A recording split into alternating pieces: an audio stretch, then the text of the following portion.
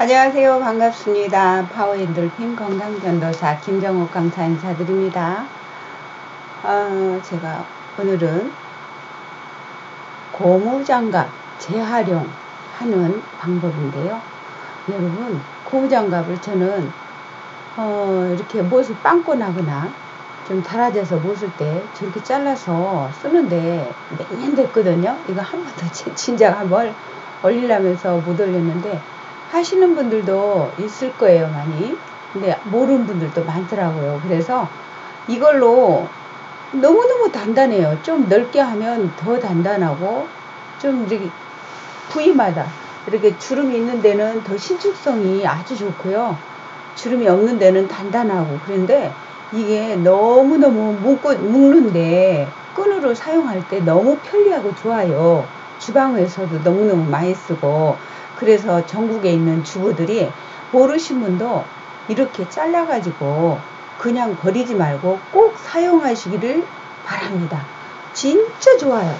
어, 그리고 뭐, 뭐, 밀, 뭐, 뭐 밀가루니, 무슨 자루니, 비닐봉지 묶는 거, 테프로 뭐, 붙이기도 꽉 봉해야 될 거, 그런 것도 있는데, 이렇게 찝는 것도 있고, 그런데, 찝는 것으로 할 때는 하지만, 저걸로 하시면 진짜 편리할 때가 많아요. 뭐 문꿀 때도 그렇고 돗자리 문꿀 때도 그렇고 여러 가지로 활용하거든요. 진짜 이게 너무 좋더라고요.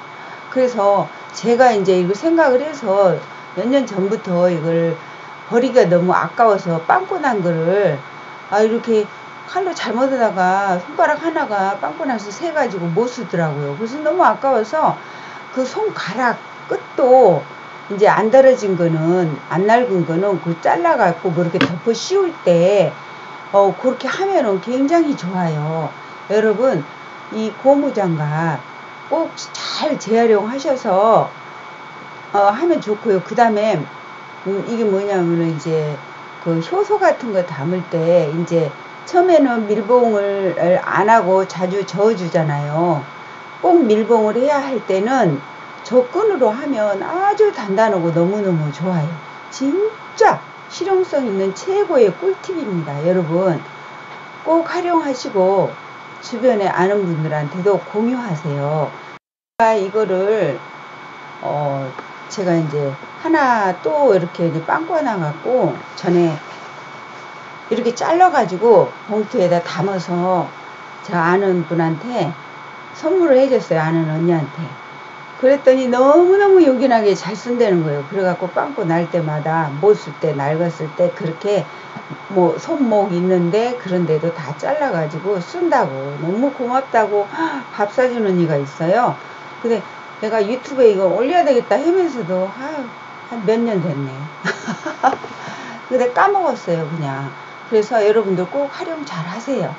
그리고 매일매일 웃으면서 살아야 돼요. 여러분, 그래서 잠시 배, 배다 힘주고 온몸으로 웃음 운동 하세요. 소리를 크게 할 수 없을 때는 작게 어쩔 수 없이 작게 하는데 동작은 크게 온몸으로 발 구르면서 하세요. 좋은 하루 되세요. 좋아요, 구독 꾹 누르세요. 눈이 아니라 입모양이라는 겁니다. 여기에 웃음소리나 박수를 더하면 우리 몸을 건강하게 하는 효과가 있습니다. 한바탕 큰 웃음은 우리 몸의 650개 근육 가운데 231개를 움직이는 효과적인 운동법이라고 전문가들은 말합니다.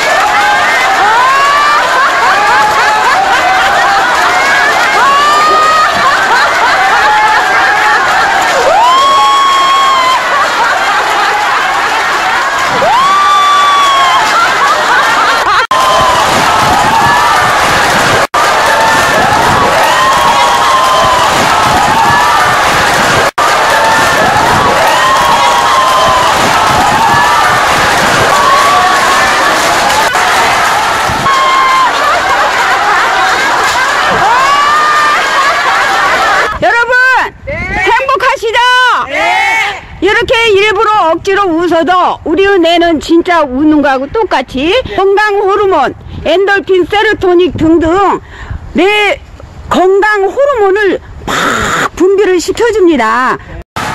사랑해요. 날마다 웃으면서 살아요. 감사합니다. 감사합니다.